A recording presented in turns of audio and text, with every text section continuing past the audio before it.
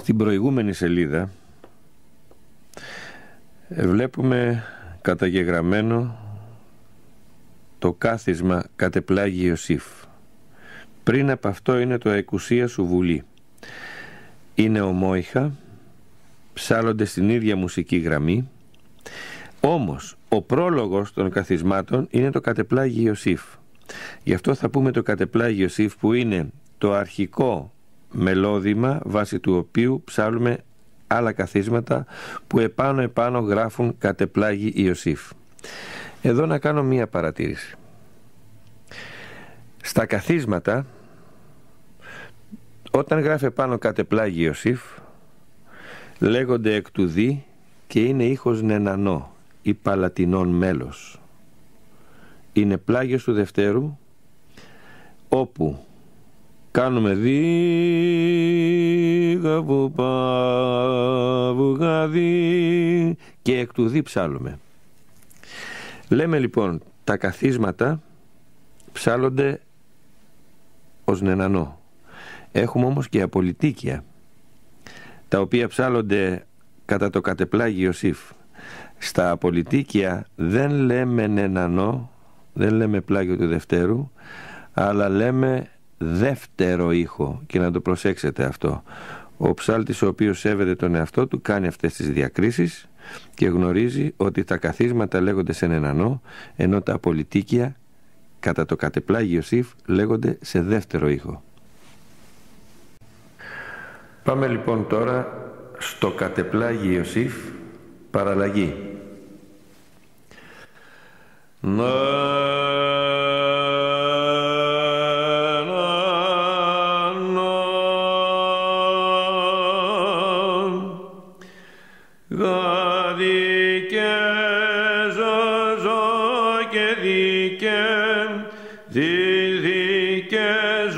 και δι γαδί, γαδί και ζω, και δι και,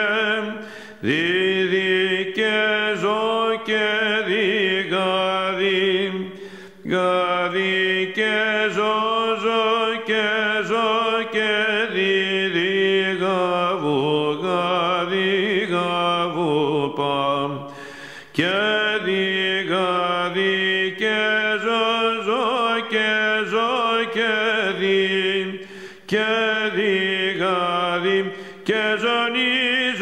και ζω και δίγαδι, γαδί, και ζω και νίζω, ζω και ζω, νίζω και δι, δι γαδί και δι γαβού, γαδί γαβού πα, παζώ ζω και ζω, νίζω και δι, και ζωνίζω και ζωνίζω και δι και δι και δι γαβού γαδι δι και και δι δι.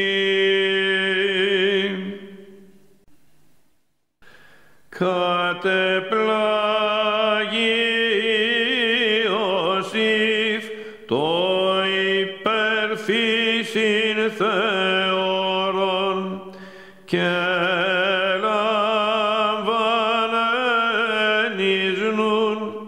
των επιποκονιατών αιτίας πόρος η λήψη σου Θεότο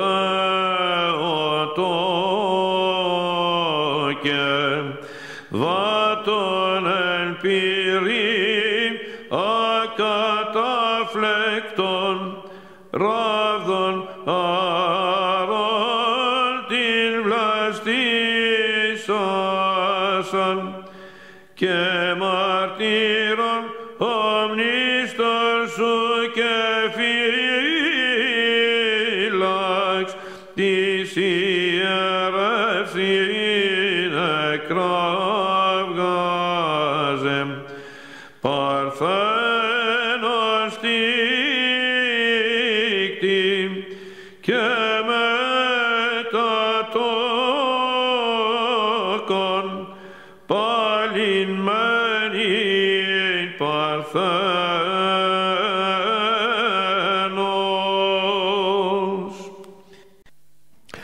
Στον ήχο αυτό τον ενανό έχουμε το βαρύ τετράχρονο δίγα βουπά χρωματικό και σημειώνεται βλέπετε μέσα το οξύ τετράχρονο και ζωνιπά διατονικό.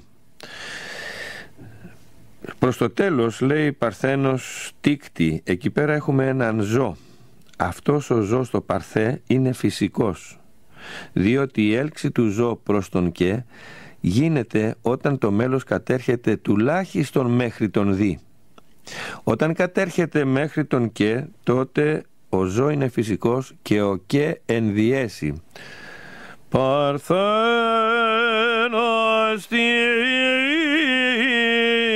στήκτη. Επίσης, ένα άλλο λάθος που διαπιστώνω εδώ στο βιβλίο είναι ότι δεν λύνει το διατονικό γένος για την κατάληξη. Η λύση του γίνεται στην τελευταία σειρά ε, ε πάλι μένει στο μένει, στο νι εκεί πέρα που είναι δι, πρέπει να τοποθετηθεί η φθορά του πλαγίου του Δευτέρου. Εδώ τελείωσε το σημερινό μάθημα αγαπητοί ακροατές. Να ευχαριστήσουμε τον Παναγιώτο Γεωργακόπουλο που ήταν στην κονσόλα του ήχου. Να ευχαριστήσω όλους σας που μας παρακολουθήσατε. Την επόμενη φορά, την επόμενη Κυριακή, πρώτο Θεός θα είμαστε και πάλι μαζί. Γεια σας.